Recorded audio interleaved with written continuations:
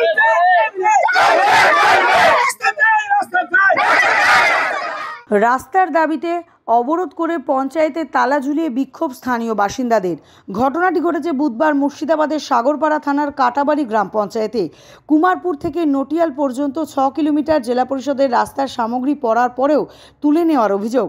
তার প্রতিবাদে পঞ্চায়েতে তালা বন্ধ করে রাস্তা অবরোধ করে বিক্ষোভ দেখান স্থানীয় বাসিন্দারা। স্থানীয় বাসিন্দাদের দাবি, রাস্তার কাজের প্রতিশ্রুতি না পেলে তারা রাস্তা অবরোধ করে রাখবেন ও পঞ্চায়েতের তালা খুলবেন না।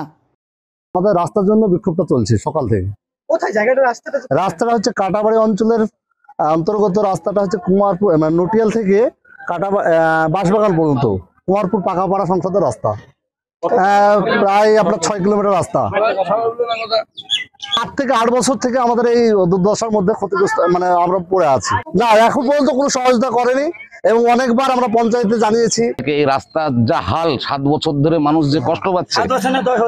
তো সাত বছর ধরে মানুষ যা কষ্ট পাচ্ছে তাতে আমার মনে হয় যে গ্রামের মানুষ যদি আবার রাজ্য সড়ক অবরোধ করে তাও প্রশাসনের কিছু করার থাকবে না।